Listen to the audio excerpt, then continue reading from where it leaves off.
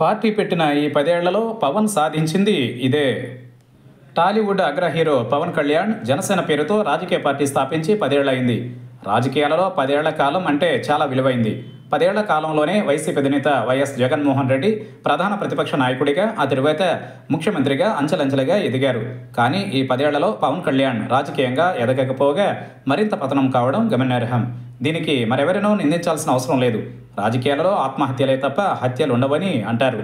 ఇందుకు పవన్ కళ్యాణ్ రాజకీయ తిరోగమనమే నిలువెత్తు నిదర్శనం. పవన్ కళ్యాణ్ పైకి ఎన్ని ఆదర్శాలు మాట్లాడినా జనానికి అర్థమైంది ఏంటంటే జగన్ రాజకీయ ఎదుగుదలను అడ్డుకోవడానికి మాత్రమే జనసేన ఆవిర్భవించిందని. దీనిని సమాజం స్వాగతించదు. ఎందుకంటే ప్రజానీకం ఆలోచనలు పవన్లా సంకోచితంగా లేవు. రాజకీయాలలో ఎవరేం చేస్తున్నారో ప్రజలు జాగ్రత్తగా గమనిస్తూ ఉంటారు.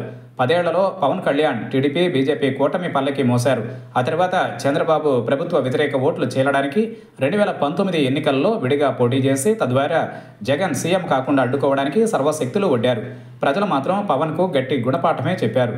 రెండు వేల ఇరవై నాలుగు ఎన్నికలకు వచ్చేసరికి ఒంటరిగా పోటీ చేస్తే కనీసం తాను కూడా గెలవలేనని పవన్ ఒక నిర్ణయానికి వచ్చారు. దీనిని బట్టి పవన్ కళ్యాణ్ పదేళ్ళలో సాధించిందేంటో అంచనా వేసుకోవచ్చు. తమ కోసం పవన్ కళ్యాణ్ నిలబడి ఉంటే ఆదరించనంత చెడ్డ మనస్తత్వం ప్రజానికానికి లేదు. కనీసం తనను కూడా గెలిపించలేదని పదే పదే ప్రజలపై పవన్ నిందలు వేస్తూ ఉంటారు. అదే నిజమైతే చంద్రబాబు వైఎస్ జగన్లపై మాత్రం ప్రజలకు ప్రత్యేక ప్రేమ ఎందుకుంటుంది? పైగా చంద్రబాబు వైఎస్ జగన్ సామాజిక వర్గాల బలం నాలుగు ఆరు శాతం మాత్రం. కానీ పవన్ సామాజిక వర్గం బలం పదిహేను శాతం.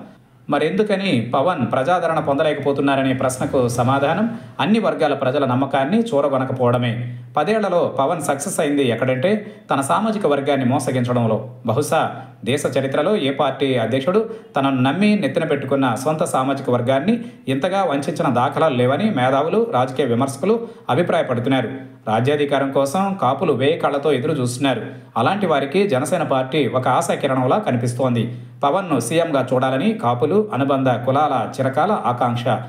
పవన్కు సినీ పరంగా గ్లామర్ను దృష్టిలో పెట్టుకుని ఇప్పుడు కాకపోతే మరెప్పుడు సీఎం పదవిని సాధించుకోలేమని ఆ సామాజిక వర్గం అభిప్రాయం. ఇది నిజం కూడా. తన సామాజిక కోరికనే పెట్టుబడిగా పవన్ మలుచుకున్నారు. రెండు వేల పద్నాలుగులో ఎన్నికలలో పోటీ చేయకుండా టీడీపీ కూటమికి బేషరతుగా మద్దతు ఇవ్వడానికి ఏదో లాజిక్ చెప్పారు. ఆ తర్వాత రెండు వేల పంతొమ్మిదిలో మళ్ళీ ఏదో చెప్పి బరిలో నిలిచారు. పవన్ ఏం చెప్పినా ఆయన వెంట మెజారిటీ కాపులు నడిచారు. చివరికి రెండు వేల ఇరవై నాలుగులోనూ టీడీపీకి జనసేనను తాకట్టు పెట్టడానికి రాష్ట్ర తెలుగుదేశం ప్రయోజనాలంటూ కొత్త కథలు పవన్ చెబుతున్నారు. ఈ నేపథ్యంలో పవన్ను అభిమానించే ఆయన సామాజిక వర్గంలో అంతర్మదనం మొదలైంది. గత పదేళ్ళుగా పవన్ను నమ్మడం వల్లే మోసపోయామనే కనువిప్పు కలుగుతోంది. పదేళ్ళుగా పవన్ చేతిలో అన్స్టాపబుల్గా వంచనకు గురయ్యామనే భావనను వారు జీర్ణించుకోలేకపోతున్నారు.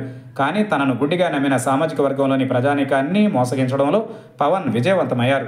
టీడీపీతో పొత్తు వద్దని చంద్రబాబును నమ్మితే మునిగిపోతామని ఎవరైనంటే వ్యూహాన్ని తనకు వదిలేయాలనే ఒకే ఒక్క మాటతో అందరి నోళ్ళను మోయించడానికి అస్త్రంగా వాడుతున్నారు. కొందరు మొండిగా పొత్తును వ్యతిరేకిస్తే మీరంతా జగన్ కోవర్టులని పక్కన పెట్టాల్సి వస్తుందని బ్లాక్ మెయిల్కు పాల్పడడం చూశాం. కాపులను మోసగించినా మోసగిస్తున్న ఒకే ఒక్కడిగా పవన్ కళ్యాణ్ మిగిలారనే అభిప్రాయం బలపడుతోంది.